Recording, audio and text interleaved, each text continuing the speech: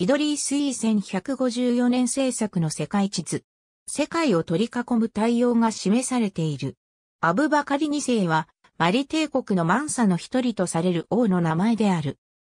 アブバカリ2世は、1310年頃に王位についていたが、大西洋を横断する探検をするため、王位を退いた。そして、彼の弟もしくは、息子が1324年のメッカ巡礼で有名なマンサムーサであると言われているが、適切な文献でその名を確認することができず、実在しなかった可能性がある。アブバカリ2世の実像は、西アフリカ史を専門とする歴史研究者により明らかにされつつあるが、むしろアメリカ合衆国におけるアフロセントリズムにより、その虚像に焦点が当たっているというのが現状である。アフロセントリズム的文脈においては、アブバカリ2世はコロンブスよりも200年早くアメリカ州に到着し、そこでアフリカ文化を先住民に広めたとされる。さらにそのイスラーム主義的解釈においては、アメリカでイスラームを先住民に広めたとされる。アブバカリ2世とされる人物について、最も頻繁に引用される文献が、シリア生まれの百科全書家、シハーブッティン・アフマドブン・ファドルダー・ウマリーが表したエジプトの年代記である。ウマリーはマンサー・ムーサーがエジプトを訪れた25年後に、このマリの支配者と会話を交わした人物に会って話を聞いた。カイロの統治者、イブン・アミール・ハージブはマンサー・ムーサーに、あなたはどのように王様になられたのですかと聞いた。王の答えは次のようであったという。私は代々王の権威を受け継いでいる家の出身です。しかるに、先代の王様は、寛解には向こう岸があると考えられました。この考えにとらわれた王様は、それが正しいことを証明しようと、数百艘の船を作らせ、手下どもを乗せ、黄金と食料、水をどっさり、数年は持つ分の量を積み込ませました。そして出港の際には海の果てるところに行き着くか、食料と水が尽きるかするまで戻ってくるなと命じられました。すべての船が出払い、長い月日が過ぎましたが、一艘も戻ってこなかったところ、ついに一艘の船が戻ってきました。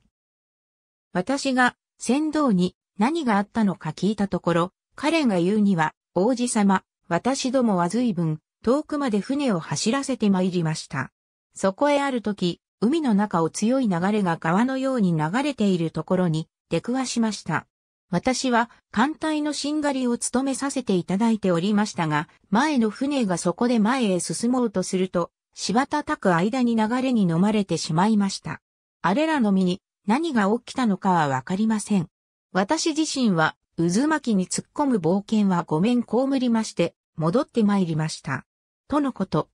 王様はこの男の言うことを信じようとはなさらず、その態度に不満を持たれました。そこで、半分は、お自らのため、半分は手下どものために、二千艘の船を用意させ、さらに食料や飲み水を運ぶ船も別に用意させました。そして、私に国を任せ、手下どもを引き連れて、アルムヒトの海へお立ちになりました。それ以来長い年月が経ちましたが、前の王様を見た者はいません。私はずっと王国の主のままなのです。マンサー・ムーサー、ウマリー、小王国見聞記上述の伝文に伝文を重ねたアネクドートにおいては、戦王の名前には一切言及されず、ただマンサー・ムーサーに応答があるということが語られるという点が特徴的である。また、どの港からあるいはどの地方から出港したのかなどの詳しいことはわからない。さらに、船に関する言及内容もありそうもない話であり、とても、とても、たくさんの比喩として理解するほかない。この小話には、太陽の向こうにある遠く離れた土地を探すという言葉が含まれておらず、アフロセントリズム的文脈で語られる言説に見られる詳細な内容は、ウマリーの短い描写の中にはない。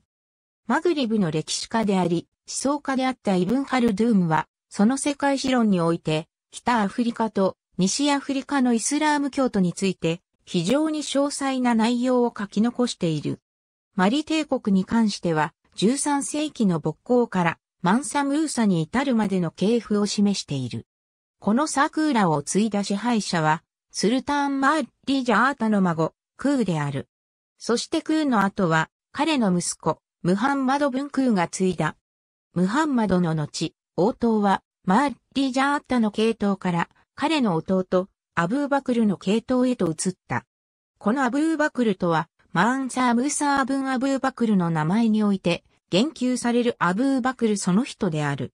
イブン・ハルドゥーン、イバルの処分中のマーリー・ジャータは、マリ帝国の始祖スンジャタ・ケータのことである。このテキストによれば、スンジャタの孫の王権はケータ氏族出身者の一人へ移ったが、広大な帝国を築き上げたムーサ自身は、スンジャタの直系子孫ではなく、スンジャタの弟のアブーバクルの子孫であったという。また、アブーバクル自身は、マリの支配者ではなかったことも明らかである。ところが、このアブーバクルがマンサの一人であり、かつ、ムーサと血のつながった父であると誤解されるようになった。なぜなら、マリにおいて王権は、父から子へと受け継がれるものとずっと言われてきたからである。1300年を少しばかり過ぎた頃のマリ帝国が、アブバカリという王に統治されていたという家庭内史思い込みは、フランスの西アフリカ専門家、モリス・ドゥラフォスの説に遡る。ドゥラフォスは、オーセナゴル・ニジェールという三巻本の著作において、既存の資料に基づいて、マリのマンサたちの完全な系譜図を作成しようとした。年代記を確定させるにあたってドゥラフォスは、系譜関係が最もらしく、見えるように、一切の検証なしに、あたかも資料があったかのように、摂政時代を置いた。歴史の再構築にあたっては、マンデの交渉伝統は無視し、多くをイブン・ハルドゥーンとウマリーの年代記などのアラビア語文献に依拠した。後者のウマリーは、マンサムーサがあるマンサから王位を引き継いだことを報告している。イブン・ハルドゥーンの年代記には、アブーバクルが支配者であったという言葉は一語も書かれていないにもかかわらず、ドゥラフォスはこの引き継ぎをイブン・ハルドゥーンでマンサムーサの父であるとされているアブーバクルが言ったことであると結論付けた。他方で、アブーバクルは王国の開祖スンジャタの弟だったと言われている。スンジャタは13世紀の初め頃に王位にあった人物である。したがって、スンジャタの弟が1312年頃から1337年頃に王位にあったマンサムーサの父というのは年代が離れすぎている。いろいろなアメリカの作家が主張するようなマンサムーサの兄という説は、なおのこと、ありえない。ドゥラフォスはまた、交渉伝統を信頼しなかった。西アフリカには豊富な交渉伝統があるが、ドゥラフォスは600年から700年も前の出来事に関して口頭で伝えられた歴史については信頼できないという思い込みを持っていた。フランスの植民地官僚であったアフリカ研究者、シャルル・モンテイユは、ドゥラホスにより建てられた応答のリストを引き継いだけれども、アブバカリ2世の存在については、基本的に論じようとしなかった。モンテイユは、ヨーロッパの歴史家の中で、初めてマンデ族の高等伝承の研究への有用性を評価したが、その中には、アブバカリ2世の名前を言及するものはなかったとする。大西洋への冒険の話を、彼は純粋な作り話であると考えた。イスラエルの東洋学者、アフリカ史研究者のネヘミア・レビツィオンは、オリジナルのテクストを精密にレビューし、アブバカリ2世なるマンサーの存在は、翻訳の際に生じた誤りによるものであるとした。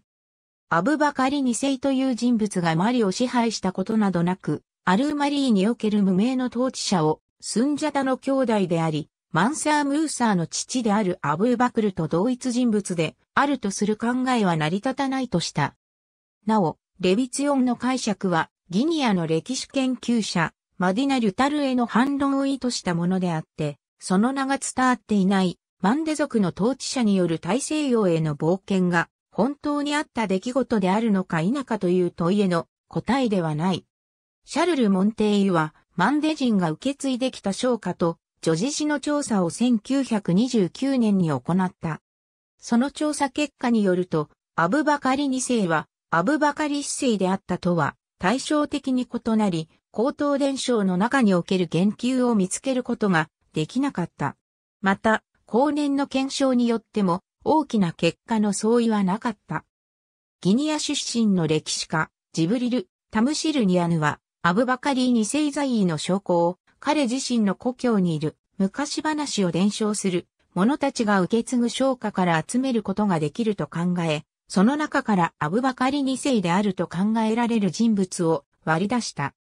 アメリカの歴史家、アフリカ黒人がコロンブスより前にアメリカに到達していたという理論を代表する論者のイバンバン・セルティマは、1976年にアブバカリの旅を再構築するために伝承された昔話を用いたとしたが、それは別の文脈から見ると全く具体的な引用がないということを意味した。さらに最近ではマリの小説家、劇作家、詩人のガウス・ジャワラがアブバカリを取り扱った作品として手始めに1992年に演劇を、1999年には電気を表した。マリのグリオがこのマンサーのことを完全に無視してきたのは彼がマリ人の歴史の汚点となったからだということをジャワラは語っている。アブバカリに焦点を当てた昇華は近年存在している。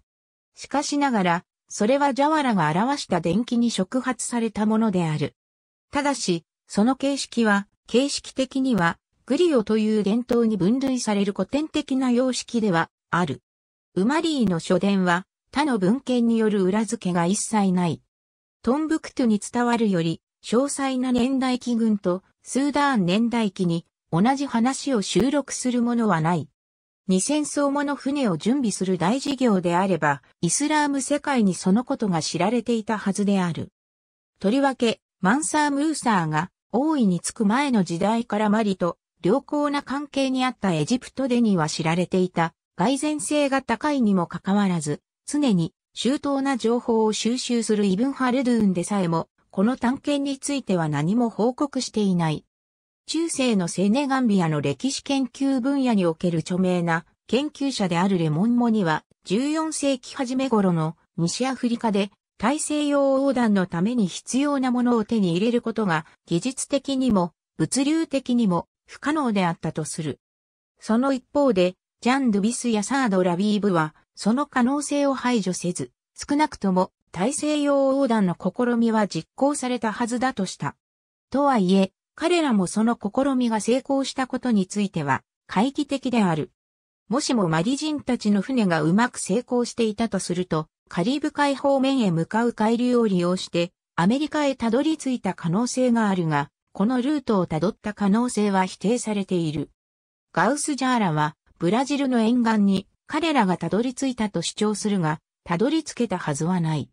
また、アマゾン川に入ることも、流れが海に向かっているので不可能であったであろう。ギニアの歴史研究者、マディナ・リュタルは、マンサー・ムーサーの前王の指揮下では、大西洋横断航海が実りなき試みに終わったで、あろうことは認めながらも、そのことは、マリ帝国における、セネガンビア地方及び海洋、並びに、両者をつなぐ通行路としてのセネガル川、ガンビア川の川口地域には何らの影響も与えなかったことを強調する。デュタルはポルトガル勢の到来によって初めて変化が起きたとした。生き残った船長が他の船は渦巻きに飲み込まれてしまったと明白に証言していることに注意すべきである。これは西方へ流れる海流についての言及であったというよりむしろ中世神話における船を飲み込む海の深淵についての言及である。また、13世紀のオリエント界隈には、王様が無謀な冒険に挑むという、ウマリーの書伝と明らかに類似した話がルフしていた。そのため、ウマリーがダルビーシュから聞いた話を完骨脱退して、エジプトのアミールから聞いた話の信憑性を増すために、用いたという解釈が許容されよう。大西洋探検のアネクドートが教訓的な性格を持ち、アラブの歴史家に向けて支配者のあるべき姿を示すために作られた可能性はある。ウマリーは鏡の王子という中世説話に典型的な様式に沿って、その後継者であるマンサー・ムーサーに対峙させる形で、あるべきでない支配者像を描いたかもしれない。そうすると、名もなきマンサーは、統治問題に無関心な忌避すべき王を表したものであろう。その代わり、太陽を渡った向こうに何があるのかという人が知ろうとすべきでない問いに対しては、溺れることになるという答えを示そうとした。なぜならば、アッラーフとクルアーンの権威によれば、そこに陸地などないのだから。為政者は明らかな神の印に挑戦するべきではない。ほとんどすべての船が沈み、生き残った者は数人に過ぎなかったのは傲慢なマンサーに警告を与えたものである。ところが、かのマンサーは自分自身の傲慢さと挑戦を受けた神に気づかず、馬鹿げた計画のために何千もの必要物資を持ち出し、帝国から掘り出した資源を船に積み込んだ。これに対して、マンサー・ムーサーは、カイロのウラマーの指示に謙虚に応じ、彼らの禁じるところに、すぐに従った。全王と対照的に真っ赤へ巡礼し、信仰の熱い者たちを両国へ連れ帰った彼ならば、かの地にイスラームの教えを根付かせる。彼は、トンブクトとガオにモスクを建てさせ、そこに気前抑制なる書物を備えさせたため、為政者の官となった。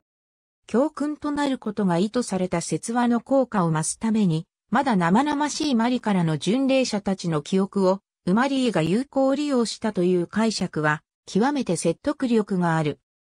アブバカリ二世なる王の実在について、確立した科学的学問の世界で議論が続いているにもかかわらず、アフロセントリズムとして知られる歴史研究における著名な活動からは、この王が歴史的に確認し得る人物であって、クリストファー・コロンブスに先駆けること200年前にアメリカに到達していたと説明する。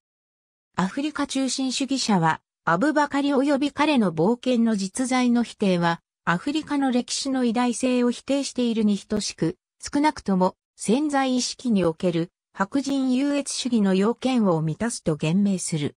これに対する批判としては、アフロセントリズムが文献と事実とデータを恣意的に取り扱い、利用しているという批判がある。すなわち、疑わしい文字資料だけでなく、ドグマと非歴史的な神話の創造とでもって、歴史的事実を調べるためでなく、アフリカ系アメリカ人の自意識を高く保つために使っているという。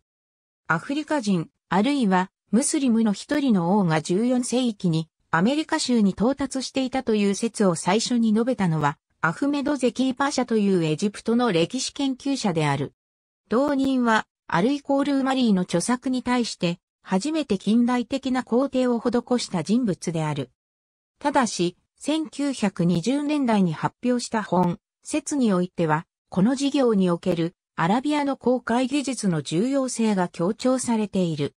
ドイツの海外史研究者エグモント・ゼッヘリンは、アラビアマリ文化圏の船がアメリカに到達したかもしれないという可能性を除外しようとしなかった。中世における探検の歴史を専門とする同僚のリヒャルト・ヘンニッヒに、ウマリーの書伝のさらなる検証を依頼し、マリオによる探検は実在した。しかし、失敗に終わったと結論付けた。トルコの科学史研究者、フィワト・セズギンは、地図学的完成度の観点からこの問題に取り組み、驚くほど水準が高かったアラブイコールイスラーム文明における公開術を持つムスリムの公開者は9世紀の初めから15世紀頃に太陽を渡ったところにある陸地に到達するだけでなく、それを地図に記載し始めたと言えるとした。ただし、彼の書論においては、この高い水準はアラビアの探検公開者のものであって、ブラックアフリカのものではないとされる。レオ・ウィーナーは明らかにウマリーの書伝の存在を知らずに、アメリカは西アフリカのマンデ族により植民されていたという内容の詳細なタイプの論文を1920年から1923年の間に発表した。ウィーナーはアメリカ先住民の言語とアフリカの言語との間にある類似に依拠するだけでなく、両大陸に生える植物の分布にも依拠した。ウィーナーの書論によれば、これらの植物はアフリカからカリブ海地域に持ち込まれたといい、その他にタバコの喫煙はアフリカが発祥であるとした。しかしながら、大方の民族学者には間違いであるとして受け入れられていない。大半の白人の学者の意見は否定的であったが、アフリカ系アメリカ人のレビュアーの中には、歴史の再評価にとって極めて重要であると述べ、先、コロンブス時代のマンデ文化は、アメリカにおいて創始されたものでなければ、少なくとも根本的に変容したものであると、ウィーナーの書籍から引用する者もいた。マリの劇作家、ジャワラの意見は、アブバカリの船団がガンビアを立ち、大西洋を渡って、ブラジルの沿岸、レシフェにつき、マリ帝国において金を豊富に産出した2カ所の地名、ブーレとバンブクを記念して、ペルナンブーコと名付けたというものである。イバンバン・セルティマやマーク・ハイマンのようなアフロセントリズム派の著述家は、コロンブス自身がカリブ海地域で黒人に出会ったと何度も報告している一方で、コロンブスとその同時代人がアメリカ先住民の肌の色をよくムーア人に例えていることを頻繁に指摘する。ムーア人は北アフリカに住む人々を意味する。コロンブスが明瞭に述べていることに鑑みると、彼は自分の発見した土地ではギニアにいるような黒人に一度も出会わなかった。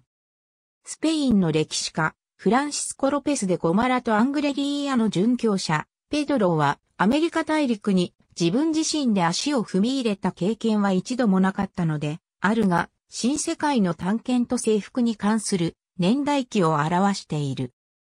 その中には、コンキスタドールのバスコヌーニエス・でバルボアが、現代のパナマにあたる地方で、一度も黒人に出会わなかったという記述があるが、この記述には、新大陸の入植地には黒人だけが住んでいるものという通念が前提にある。年代記作家による記述がバンセルティマラにより信頼のおける目撃情報であるとみなされたとしても、そこには伝聞による二次的な記載があるに過ぎない。1950年代以来、考古学者のメルビン・ジェフリーズが、マンデの公開者たちにより14世紀の初め頃に、アメリカから西アフリカにトウモロコシが持ち込まれたという説を発表して、このアフロセントリズム的解釈を擁護している。この説の証拠として彼は、アフリカの神話と中世に作られた土器に見られる表現とを提示する。彼によれば、トウモロコシは近代初期にはすでに主要作物とされており、1500年以降にヨーロッパ人により導入されただけではこれほどまでに急速に栽培が広まるはずがない、という。この説に対する反論としては、ジェフリーズが挙げた言語資料が十分な証拠のあるものではないこと、また、トウモロコシとモロコシとの区別が明らかにされていないことを指摘するものがある。1990年半ば以後になると、アブバカリの発見者としての業績の評価に重きを置く、言説が見られるようになった。かつてのアフロセントリズムのイデオローグたちは、黒人アフリカから来た航海者らが古代アメリカの先住民文化に及ぼした影響を力説したものだが、今日のアメリカ人ムスリムの中には、ムスリムによって実行された探検における最初期のものであるという探検の性格を重視する。これらの言説は、アメリカ大陸がマンデ人により発見され、また文明化されたことを認める点で確かに過去の言説と共通するが、むしろ先住民が初めてイスラームに改宗したことを強調する。例えば、レバノン出身でカナダで物理学者として働き、ムスリムのために働く活動家でもあるユーセフ・ムルーエなどがこのようなことを述べている。自分自身の主張のみが書いてある彼の著書によると、コロンブスがキューバに到着した1492年には、すでにモスクがあったという。ムルーエの主張は、完全に中身がない。ムルーエのような著述からによる、スペイン人の到来以前のアメリカ大陸には、イスラームが広く信仰されていたという説は、以下に挙げるような証拠に基づくものである。多くの先住民の部族がムーア人の民族衣装を身につけている。先住民の中にはアラブ人風の名前を持っている者がいたり、彼らが土地につけた名称の中には明らかにイスラーム的な地名がある。クーフィー一帯で刻まれたアラビア文字が数多く残されていたり、マドラサのネットワークさえも運用されていたりしたが、後におそらくはヨーロッパ人により破壊されてしまった。特に19世紀まではムスリムであったと言われているチェロキー族は独自のイマームを持ち、ハッチの様式で定期的に巡礼を行っていた。部分的にはアメリカにおけるイスラームの遺産が話題になっているが、税源を浪するばかりで何を言わんとしているのかが明瞭でない。先、コロンブス時代にアメリカ先住民のイスラーム化が起きていたという説は、ネイティブアメリカンの諸団体における反対がやますばかりであったが、ムスリムたちの内輪では、好意的に受け入れられ、ウェブフォーラムで好意的に議論されている。イスラーム連動世界連盟は、ムルーへの仮説の検討を行い、アメリカ大陸がもともとはイスラーム化されていたと結論付け、そのため、ムスリムは各自、異教徒を回収させる努力を通して、イスラームの復興に努めなければならないとした。2014年11月にトルコの首相、レジェプ・タイープ・エルドアンは、テレビ番組の中でこの仮説を信じていることを認め、コロンブスにより言及された場所にモスクを建設することに同意した。ありがとうございます。